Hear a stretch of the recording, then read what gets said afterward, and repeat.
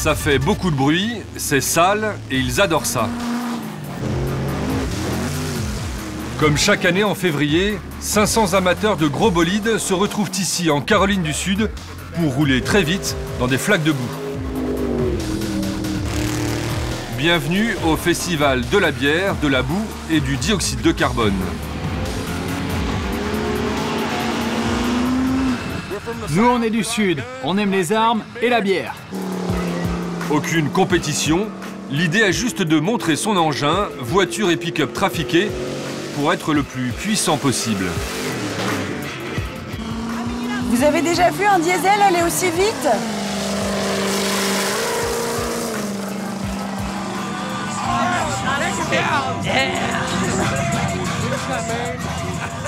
L'homme aux deux pintes, c'est l'organisateur de ce rassemblement, Matthew Steele. Il en a fait son métier depuis 10 ans. Il adore ça, comme son public. On est entre amis, en famille même. On se réunit pour faire la fête, pour passer un bon moment. Les gens viennent ici pour voir de gros camions, beaucoup de gros camions, pour voir de l'action et en prendre plein la vue. Et depuis quelques années, la famille s'est agrandie. Un groupe a rallié la fête, les Coal Rollers. Littéralement, les charbons roulants. Leurs moteurs sont trafiqués dans un but un peu spécial, cracher un maximum de fumée et polluer.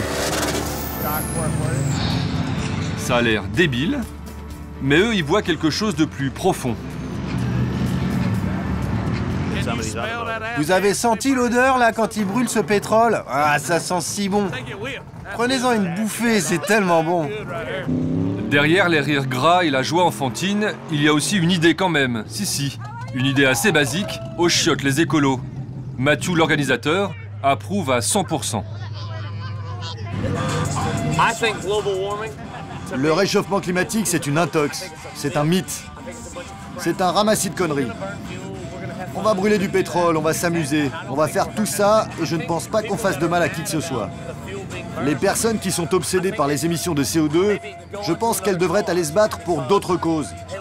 Je sais pas, pour les baleines ou pour les océans. Parce que nous, on va bien, ici, tout va bien.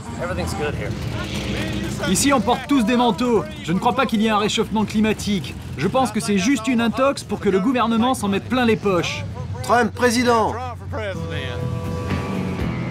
Drapeau confédéré en étendard, ici on vote pour le milliardaire républicain Donald Trump, le plus climato-sceptique des candidats à la présidentielle.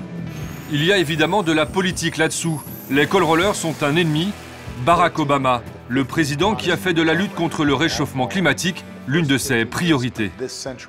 Le changement climatique ne peut plus être nié ou ignoré. Le monde regarde les États-Unis pour que nous lui montrions la voie. Et c'est ce que nous faisons.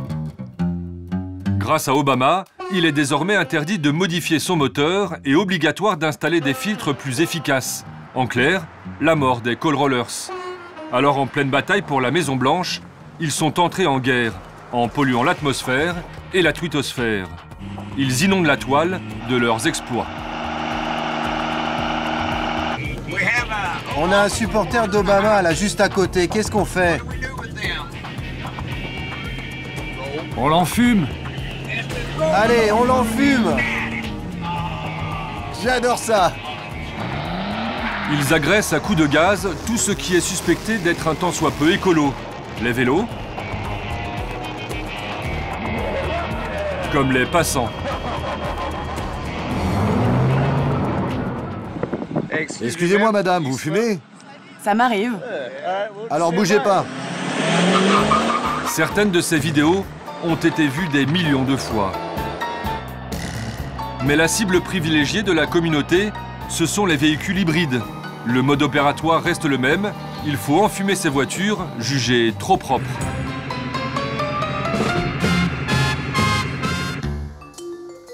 Charlotte, la plus grande ville de Caroline du Nord. Nous avons rendez-vous avec la directrice d'une agence environnementale. Sa mission Améliorer la qualité de l'air. Devant les prouesses des call rollers et de leurs amis, elle manque de s'étouffer.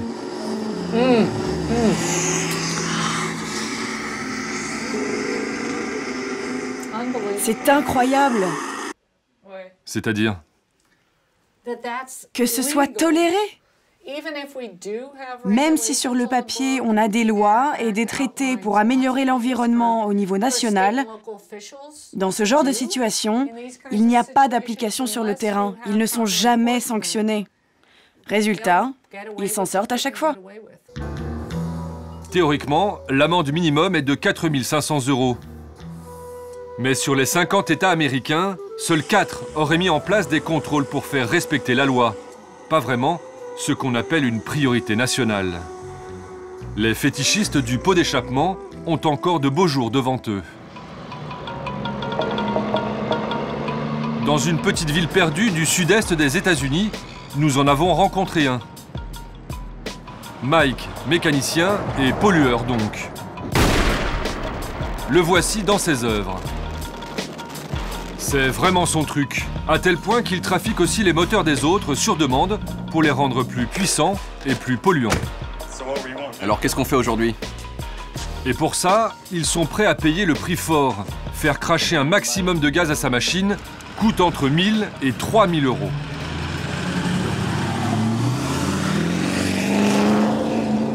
À l'abri des regards, Mike accepte de nous montrer comment il contourne la réglementation. Il a remplacé le filtre à air d'origine et le reste n'est qu'une question de programmation informatique.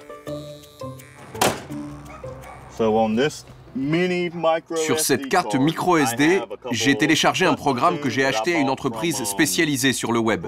C'est exactement comme hacker un ordinateur. Ça remplace les réglages d'usine du moteur. Et voilà, ça prend 5 minutes et on a gagné 300 chevaux.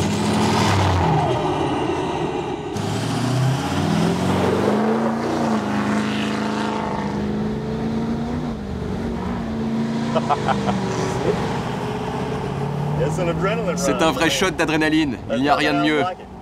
C'est comme une drogue. Et ce qu'il aime par-dessus tout, c'est jouer au cow-boy dans les rues de sa ville.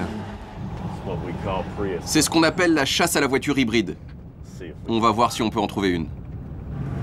En moins de 5 minutes, il repère sa future victime en conduisant avec les mains dans les poches. Je vais lui faire une queue de poisson et l'enfumer.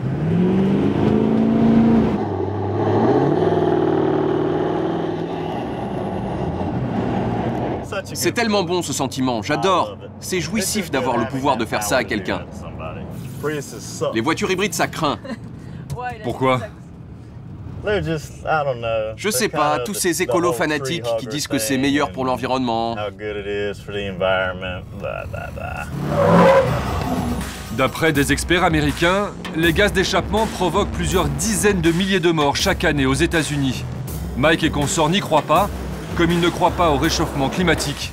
C'est plus simple.